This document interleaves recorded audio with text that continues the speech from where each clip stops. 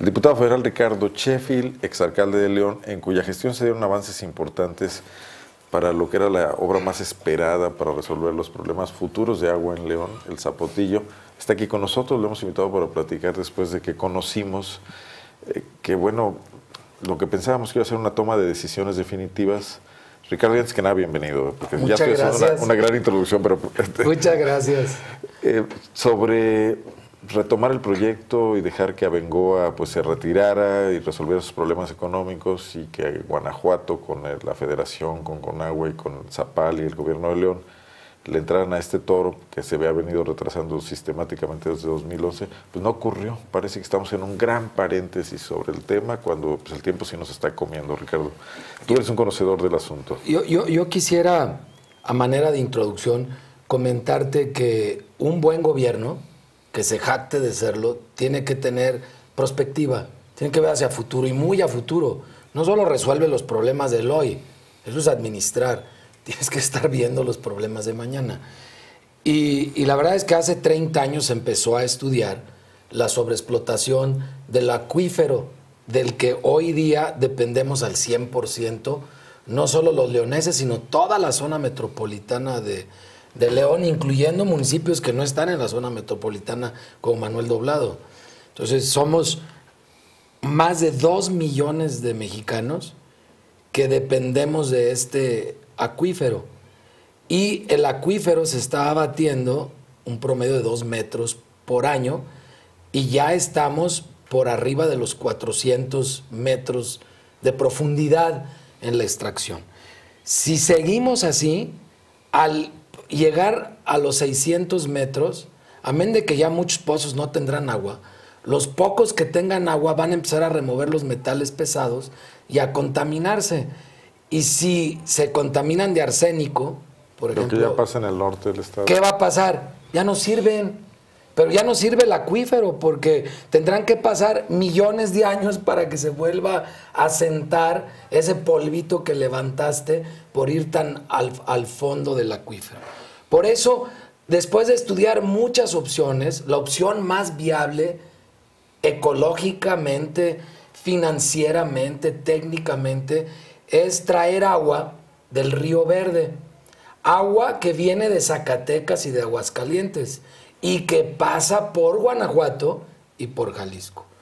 No es de Jalisco, no es de Guanajuato, es de todo México y no viene de Jalisco, viene Como el de agua de Aguascalientes aquí Zacatecas. no es de nosotros también y hay que mandarla a Chapala, ¿no? Pero aparte, toda esta agua va a Chapala. El agua del río Verde y el agua del río de los Gómez, todo es parte de la misma cuenca Lerma, Chapala, Santiago. Todo termina en. Chapala. Creo que el verde no llega a Chapala. Sí, ¿cómo no? Desemboca en el Santiago. No, va, es parte de la misma cuenca. Sí, seguro. No, no sé si llega exactamente a Chapala en una orilla. Es la misma otra. cuenca, pero Es la misma cuenca. llega a Santiago es una y ya se va a la sub- presa. subcuenca de, la, de la misma cuenca. Entonces, este es un trasvase de subcuencas. Pasas agua de una subcuenca a otra subcuenca, pero todo dentro de la misma cuenca. Que eso es muy importante porque se ha determinado que ecológicamente no es conveniente Hacer grandes trasvases. hacer trasvases entre cuencas, pero entre subcuencas el agua termina donde mismo. El, el balance acuífero es el, el mismo. Entonces, este es un proyecto que técnica, financieramente, ecológicamente es viable, que está todo consolidado y que nos tocó en el año 2010 y 2011 firmar todos los papeles para que esto funcionara. Se Con suponía que opiniones en este año... científicas, políticas, técnicas de todo tipo, había- había- se logró un consenso, ¿no? Sí, y un consenso y además un estudio muy profundo. Se suponía que en este año íbamos a recibir agua. 2017. En 2000, a inicios de 2017. Ahorita deberíamos de abrir nuestra llave y recibir agua del zapotillo. Y con eso empezar a permitir al acuífero recuperarse. Sin embargo, lo que me encontré como diputado federal fue una tumba. Silencios total, De-. La, la cortina cerrada para que nadie supiera de qué se trata. Ese es el principal reto al que nos enfrentábamos. Y yo empecé desde agosto que entré como diputado. Ahora, la presa avanzó en los tiempos. en No, estaba. la presa está detenida desde hace dos años a 80 metros. El proyecto está calculado a 100 metros. Si no se eleva a 100 metros como se hizo el proyecto, el proyecto no vuela porque financieramente no se puede sostener. Digo, se, hacen los cálculos financieros y técnicos eh, de, ingenierías para poder sustentar. Se lo detuvo el, gobierno de Peña Nieto. Es, una serie de, factores que fueron concurriendo para mal en este tema. La presa está ya construida a 80 metros y detenida la obra. Se tienen que construir 24, 25 metros más porque es poquito más alto de los 100 metros. Y está detenida por un juez de distrito, un juez federal, en, que está ubicado en Guadalajara, pero no depende del gobierno de Guadalajara. Es un juez federal que se la ha pasado dando tiempo y, resolviendo puras medidas dilatorias de solamente 17 habitantes de, de Temacapulín. Y habría que ver si realmente habitan ahí o no, porque ni siquiera se ha entrado a ese detalle en el juicio. Porque la presa de 100 metros inundaría sus propiedades. No, lo, lo inunda desde los 40. Sus propiedades están inundadas a 80, a 50, a 40 o a 104 metros. Por, por eso no tiene ningún sentido el, que, el que lo estén deteniendo. Litiga con agua contra Litiga con agua y yo creo que tras bambalina litiga el gobernador de, de, Jalisco. Entonces, ese asunto hay que ponerle el reflector para que ya dejen de hacerse tontos. Por el otro lado, el gobernador de Jalisco hace una consulta a la ONU y le dice, cosa que, me parece por demás cuestionable, porque un gobernador va directamente a una instancia internacional y les dice, a ver, este proyecto no va en contra de los tratados internacionales y, de toda la normatividad que hay a nivel global.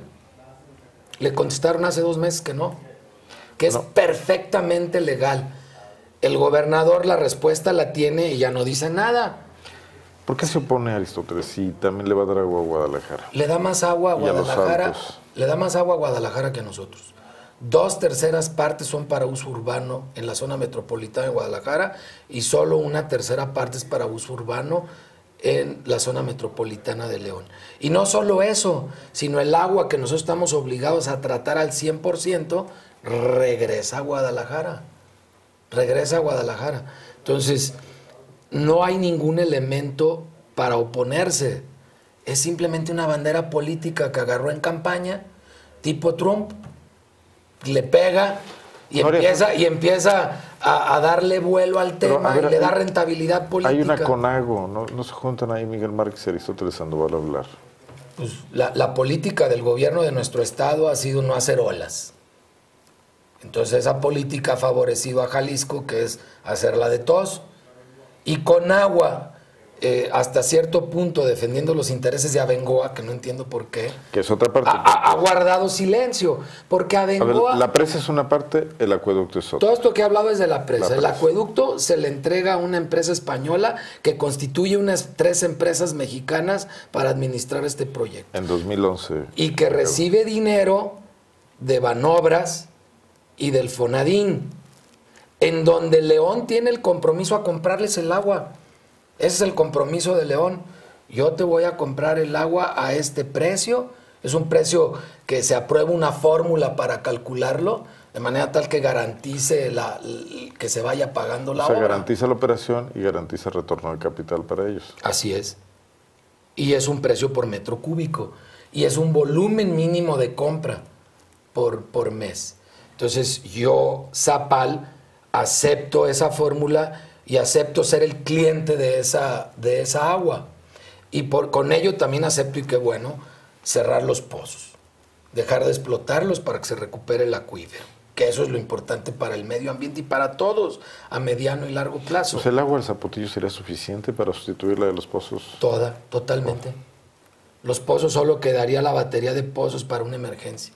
Un año en que no llueva mucho o, o no llueva, o un problema en la tubería. Lo puedes prender por, por meses o por, o por días. O sea, es otra vez le prendes el switch a la muralla 1 y a la muralla 2 cuando lo ocupes. Pero cuando no lo ocupes, la presa da suficiente agua para León y para su demanda futura también, que eso es lo importante. Entonces, si, si nosotros nos comprometimos a, comprar esa agua, y ese es lo único compromiso, nosotros no somos como Zapal y León el responsable de la obra, la obra es de Conagua, la obra es federal. Por eso a mí me surge la gran duda de por qué Zapal y Conagua fueron comparsas de esta empresa española a la que le benefició guardar silencio durante todo este tiempo, porque sin hacer obra durante dos años, nunca tuvieron problemas y todavía tienen la desfachatez de venir a cobrar. Están anunciando que, ya aprobó, que ya aprobó el Consejo de Zapal y ya aprobó el ayuntamiento pagar 221 millones de pesos de recursos de los leoneses para un proyecto que no es de los leoneses en el sentido de que no es municipal ni estatal, es federal. ¿Y privado? Y privado. Entonces yo cómo voy a dar 221 millones de pesos a una empresa privada para financiarle un proyecto privado donde mi obligación es solo garantizar la compra del agua. Yo no lo entiendo. Me dicen, me dicen que hubo dos enmiendas, enmiendas que sé que se dieron, pero no sé qué contienen, a los contratos de los que yo tengo copia simple, porque yo los firmé. Entonces, ¿cómo cambiaron la obligación del municipio de León y de Zapal? No tengo idea pero no me suena lógico, salvo que estén pagando agua por adelantado. Oye, te voy a hacer el favor. Que ser transparente. Te voy a hacer el favor de pagarte varios millones de metros cúbicos por adelantado para que tengas dinero. Y aún así no se me haría legal lo que están haciendo, porque ¿qué obligación tiene León de andar pagando si no es banco? Y dinero no nos sobra, nunca nos ha sobrado, tiene muchas necesidades la ciudad. ¿Ese dinero ya se entregó? ¿Cuántos de Zapal y cuántos del municipio? No, el dinero de Zapal y el municipio no son diferentes, es recurso público municipal. Pero el, que los cambies de el, que los tenga separados e, es, una cuestión administrativa. Pero si también vas y le pegas a la tesorería municipal, que andan ahorita con mil problemas, pues peor se ponen. Zapal tiene una reserva. Son 221 millones que está poniendo Zapal. Correcto. De recurso municipal. Sí. de recurso municipal. 221 millones. Con esta administración de Pedro González ya. Sí. Pero eso lo tiene que validar Héctor López. Ya quedó validado, pasó por por el, por el ayuntamiento hace unos días. Y honestamente. O sea, estamos sacando de problemas a Bengoa. yo estoy estamos sacando de problemas a Bengoa. Pero que no es suficiente. Pero, lo demás lo va a poner Fonadín. Y además el tema legal de la quiebra o, proceso, mercantil que lleva de suspensión de, de pagos que sería algo, similar a lo que hay en México, que están llevando en Valencia, España, ya llegó a una etapa tal donde los acreedores de Abengoa están por liberar a Abengoa España. Pero también se tomaron las medidas legales en México para proteger el proyecto y protegerlo implica que lo siga haciendo también a Bengoa, porque ellos vieron por lo suyo. Tú, lo mencionaste, el acueducto debería estar terminado y solamente se han pegado tubos a lo largo de dos kilómetros, entiendo. Pero ¿cuánto tiempo nos estuvieron dando a tole con el dedo? ¿Y sabes por qué salió la información? Porque tu servidor lleva a duro y dale con el tema desde agosto del año pasado. Si no, seguirían calladitos, se ven más bonitos, porque esa era la. ¿Te apoyan el resto de tus compañeros leoneses diputados? Sí, yo tengo el respaldo. Enterados? no, y solo ellos, sino compañeros de, la Comisión de Agua de la, de la Cámara de Diputados. De hecho, el apoyo de los 500, porque me aprobaron un punto de acuerdo por unanimidad de que con agua transparente la información, porque mi invitación es que a todas las ciudadanas y ciudadanos, los medios de comunicación, nos convirtamos en los auditores sociales de este proyecto tan importante para León, porque solo estando todos atentos a él, se cumplirá en tiempo y forma y dejarán de hacernos tontos. Preguntas. ¿Cómo fundamentan pagar 221 millones de pesos de recurso municipal a un proyecto federal? ¿Por qué? ¿Cómo se justifica eso? La pregunta sigue sin contestarse y la hago como diputado públicamente pues al presidente municipal y al consejo de Zapal, porque yo no le encuentro Yo no le encuentro la cuadratura al círculo en ese tema. Segundo, sigue sin cumplirse por parte de Conagua la petición de la Cámara de Diputados Federal de que se transparente toda la información. Métete a la página de Conagua y todavía hoy sigue sin darse a conocer todo lo que legalmente Conagua está obligado a dar a conocer. E incluso si te metes a la empresa de Avengoa México, también no está transparentando la información que debiera dar a conocer, pero esa es otra instancia, como tampoco Fonadín, como tampoco Banobras. Todos deberían de dar la misma información que fuera concurrente, complementaria y que nos permita a todos auditar esta obra tan importante. Tercero, no va a haber agua en León, de la presa del Zapotillo hasta el 2020. Todavía están diciendo que ocho o nueve meses más, ocho o nueve meses sobre la fecha ya fijada del 2018. Están hablando de principios del 2019, no es cierto. Nos vamos a ir a finales del 2020. ¿Por qué? ¿Por qué? Pues porque el tiempo nadie lo puede recuperar. Si ya estaban las marchas, a marchas forzadas, los, los costos ya se dispararon también. Y los, los costos ya se dispararon, pero de todos modos, al final lo tendrá que financiar Fonadín y Banobras, ese será problema de ellos, porque el metro cúbico por agua tiene su costo actualizado, que más o menos está en proporción a lo que cuesta extraer también esa agua, que también va costando más extraer el agua. De la intervención de ustedes, ¿qué se va a derivar como Cámara de Diputados? Lograr que se transparente toda la información y de la, de un, la de un, servidor. No agilizar la obra.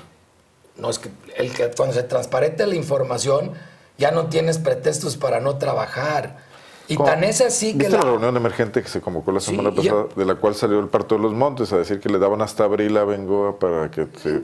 Pero la realidad que está pasando, ellos saben que tienen que ir liberar la información. Entonces la quieren liberar cuando ya tengan resuelto el problema. Y ¿Tú los te has reunido con Abengoa?